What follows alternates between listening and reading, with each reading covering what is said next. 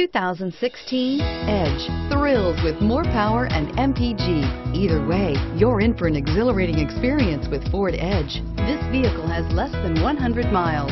Here are some of this vehicle's great options.